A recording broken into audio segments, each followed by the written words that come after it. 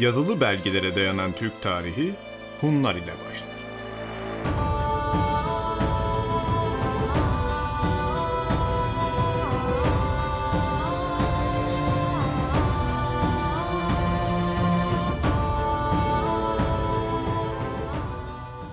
Milattan önce 1050-247 yıllar arasında Çin devletini kimi tarihçilerin Türk dediği Chao hanedanı yönetiyordu.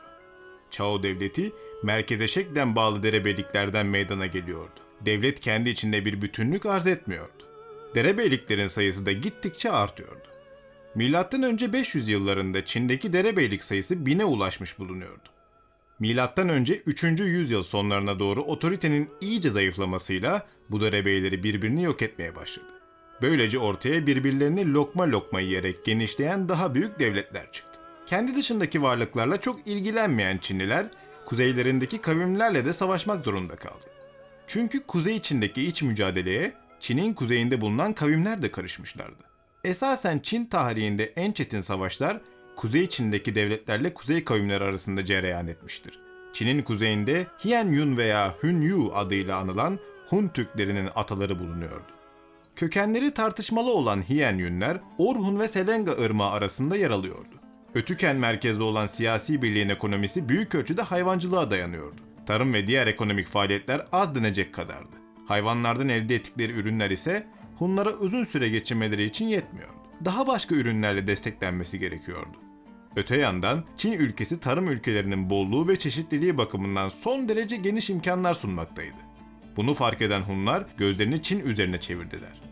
Onlar yaşayabilmek ve geçinebilmek için Çinlilerin birikmiş mallarını ve servetlerini ellerinden almak zorundaydılar. Böylece Hunlar ekonomilerinin eksiğini sık sık düzenledikleri akınlarla Çin'den temin etme yoluna gitmişlerdir. Üstelik Çinlilerin kolay bir av oluşu Hun Türklerini bu akınlara özendirmiş ve teşvik etmiştir. Çin yıllıklarının kesin kayıtlarına göre Hunlar ilk defa M.Ö. 318 yılında devletler arası mücadelelere katılmaları dolayısıyla görülür. Onlar bu tarihte 4 Çin beyliği Han, Chao, Wei ve Chu ile bir ittifak kurarak başka bir Çin beyliği olan Çin'e saldırmışlardır. Bu olay bize M.Ö. 4. yüzyılın sonlarından itibaren devletler arası ilişkilerde yerini almış güçlü bir Hun devletinin bulunduğunu göstermektedir. Hun akınlarının önemini ilk kavrayan ve bu hususta köklü tedbirlere başvuran Çin Chao kralı Wulding'dir. Chao devleti, kuzey içinde Tai bölgesinden Kansu bölgesine kadar uzanan Sarı Nehir havzasına hakim bir devletiydi. Yani Hun Türkleri ile sınır komşusuydu. Bu yüzden Chao devletine ait topraklar Hun akınlarının ilk hedefi durumundaydı. Chao kralı Wuling, Hun akınlarını durdurabilmek ve Hunları sınırların ötesine atabilmek için Tai bölgesinden başlayıp Yinshan sıra dağları boyunca devam eden büyük bir sur inşa ettirdi. Wuling aynı zamanda Hunlarla savaşabilmek için zor da olsa askerlerini onlara benzetti. Hunların silahlarıyla, giyim kuşamıyla ordusunu donattı. Chao devletinin savunma faaliyetlerine Çin devleti büyük bir gayretle devam etti. Çünkü Chao devletinin yaptığı surlar ve diğer tedbirler Hunları sınırlarda durdurmak için yeterli olmamıştı. Birçok derebeyliği ortadan kaldırmak suretiyle Çin tarihinin en güçlü merkeziyetçi idaresini kuran Çin kralı Shi Huang bütün güç ve enerjisini bu savunma faaliyetleri üzerinde topladı. O, tıpkı Chao kralı Wuling gibi büyük emek ve sermaye harcayarak yeni surlar yaptırdı. Bu surlar yapımı 600 yıllara dek sürecek Çin Seddi'nin temellerini teşkil ediyordu. Çin Chao ve Çin devletlerinin gerek surlar yaptırmak suretiyle gerekse reform mahiyetinde aldığı muazzam tedbirler etkisini gösterdi. Hun orduları sınır boylarında durduruldu ve hatta sınırların ötesine atıldı. Hunlar kuzey içindeki Ordos gibi en iyi otlaklarını kaybettiler. Bu durum Hun ekonomisini oldukça sarstı. Daha da kötüsü Hunlar açlık tehlikesiyle karşı karşıya geldiler. Nitekim Çin yıllıklarında M.Ö. 3. yüzyılın sonuna doğru Hunların komşuları arasında zayıf bir duruma düştükleri belirtilmiştir. Bu sırada Hunların doğu komşuları Tunghular, güneybatı komşuları Yueqi'ler ve güney komşuları da Çin devletiydi. Hunların başında da büyüklük ve genişlik anlamında Shan Yu ve Tanhu ünvanını taşıyan Tuman bulunuyordu. Tuman, güçlü komşu devletleri arasında adeta sıkışmış bir durumdaydı. Önce 210 yılında Büyük Çin İmparatoru Shi Huang'ın ölümü üzerine Çin devletinde karışıklık başladı. Tuman, tarihin önüne çıkardığı fırsattan yararlanmasını bildi. Hemen ordularını alarak Kuzey Çin'e indi. Eski otlaklarının bir kısmını tekrar elde etti. 15 Çin ülkesinin içine doğru yaptığı akınlarla ekonomik durumunu düzeltti. Fakat her şeyin iyiye gittiği bir sırada Hun hanedanı ağır bir krize sarsıldı. Bu kriz Tuman ile oğlu ve veliahtı Maotun arasındaki taht mücadelesiydi. Çinli tarihçilerin Mete'nin gençlik hayatı hakkında toplayabildikleri en önemli bilgi bir komplo olayının hikayesinden oluşmaktadır. Hun hükümdarı Teomanoğlu Mete'ye karşı düzenlediği komplo Çin yıllıklarında şöyle anlatılmaktadır. Tuman'ın adı Mete, Batur veya Bagatur olan büyük bir oğlu vardı. Daha sonra o kendisine bir oğlan doğuran özellikle sevgili bir hanım aldı. Artık o Mete'yi ortadan kaldırmak ve yerine küçük oğlunu koymak istiyor. Bu yüzden o Mete'yi Yuchi'lere rehin olarak gönderdi. Mete, Yuchi'lerin yanında rehin bulunduğu sırada Tuman ansızın onlara saldırdı. Bu sebepten Yuchi'ler Mete'yi öldürmek istediler. Halbuki o iyi bir at aldı ve memleketine kaçtı. Tuman, oğlunun kabiliyetini takdir etti ve idaresine 10 bin atlı verdi. Kısaca özetlemek gerekirse, Teoman büyük oğlu ve veliahtı Mete'yi yeni karısından doğan oğluna tercih etmiş ve onu Yuchi'lere yollamıştı. Kendisi de iki millet arasındaki düşmanlığı gerekçe gösterip rakibe saldırdı. Asıl amaç düşmana saldırıyorum bahanesiyle Mete'yi ortadan kaldırmaktı. Olaya erken uyanan Mete ise bir yolunu bulup saldırıdan kaçıp babasının yanına sağlam bir şekilde geldi. Durumu belli etmemek için hükümdar oğlunu tebrik etti ve emrine bir tümen verdi. Mete resmen tarih sahnesine böylece çıkmış oldu. Hun hükümdarı Tuman, oğlu Mete'yi bertaraf etmek için kurduğu komplonun oğlu tarafından ustalıkla ve olağanüstü bir başarıyla bozulduğunu görünce tavır değiştirip onu ödüllendirmek yoluyla meseleyi unutturmak ve kapatmak istemiştir. Mete ise babasının aksine bu meseleyi unutmak ve kapatmak niyetinde değildi. Emrine verilen askerlerle bir darbe yapma uğraşına girdi. Mete'nin darbe için yaptığı hazırlık ve devlet darbesi için yıllığında şöyle anlatılmıştır. Mete, hedefe giderken ıslık çıkaran bir ok imal etti.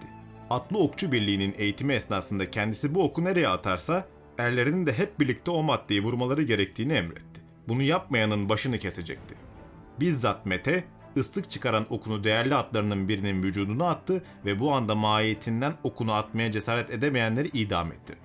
O, kısa bir süre sonra oku ile kendi sevgili eşini vurdu. Bu defada mahiyetinden bazıları donup kaldılar ve oklarını atmaya cesaret edemediler. Bunlar da Mete tarafından idam edildi.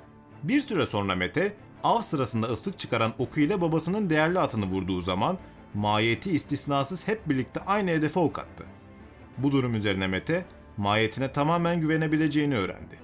Sonra o, babasıyla ava gitti ve Hun hükümdarı Shanhu ve Tanhu olan babasına ıslık çıkaran okunu attı. Bütün mahiyeti de aynı istikamete nişan aldı ve böylece Hun hükümdarı öldürüldü.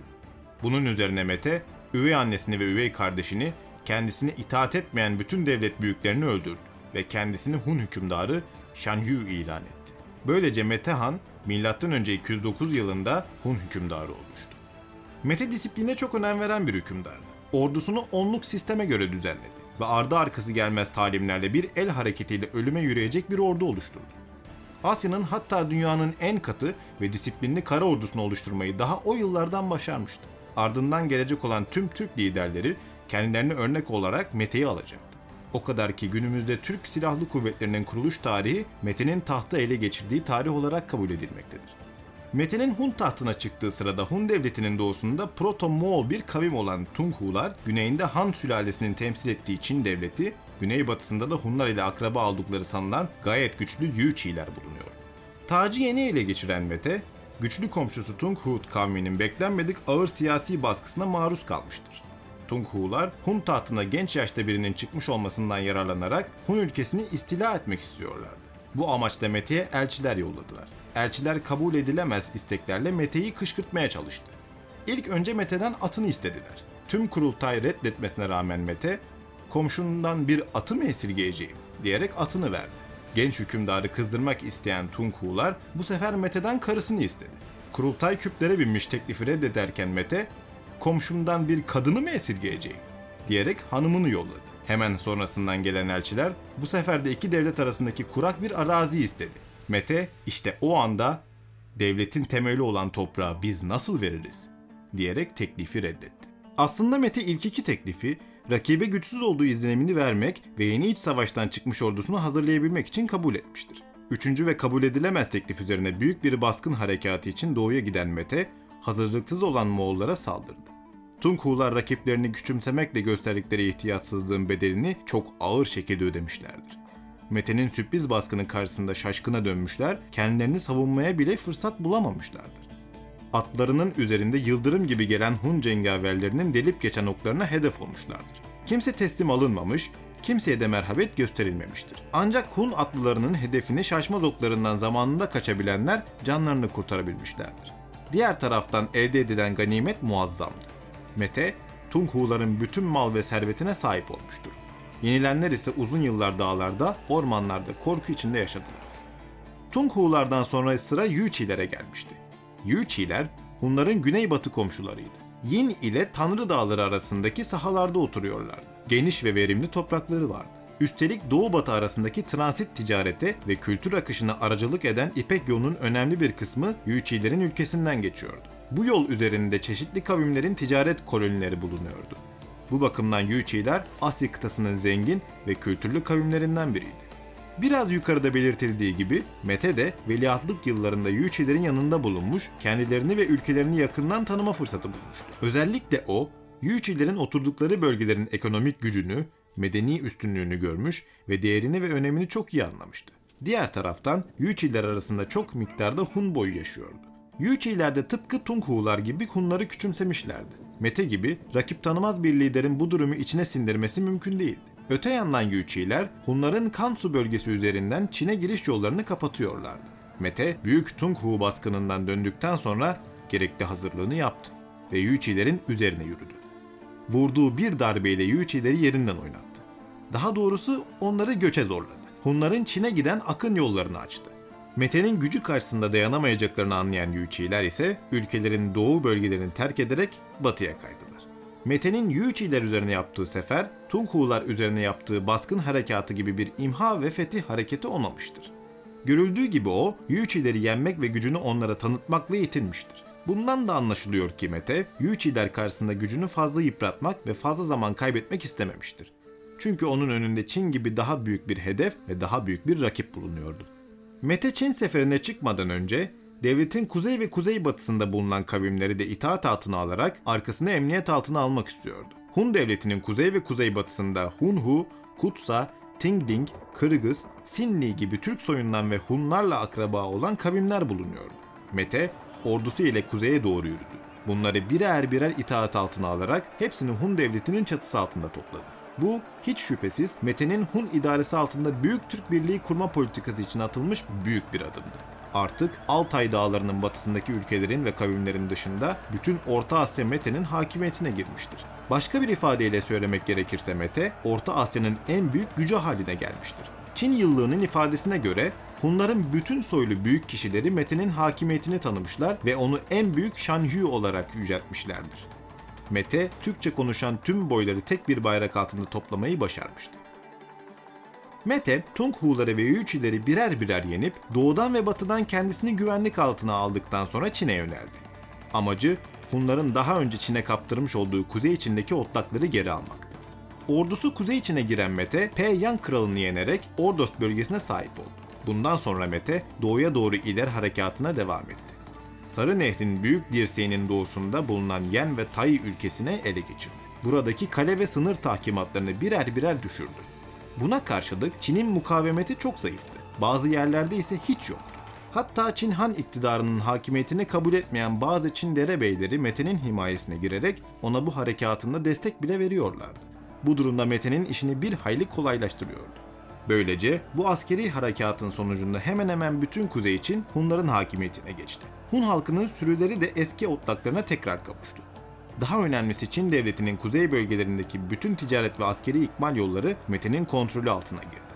Görüldüğü gibi Mete'nin kuzey için üzerine düzenlediği sefer geçici bir yağma akını değildi. Bu gerçek bir fetih hareketiydi. Zaten Mete'nin amacı da bölgeye tamamen yerleşmekti. Üstelik burası eskiden beri Hunların otlak yerleriydi. Eski çağlardan beri burada gerçek Çinli bulunmuyordu. Halkı da karışıktı. Bölgenin batısında Tibet, ortasında Hun, doğusunda da Moğol boyları çoğunlukla bulunuyordu.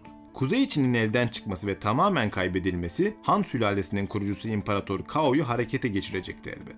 Çinliler ve Türkler arasında büyük savaş için artık her şey hazırdı.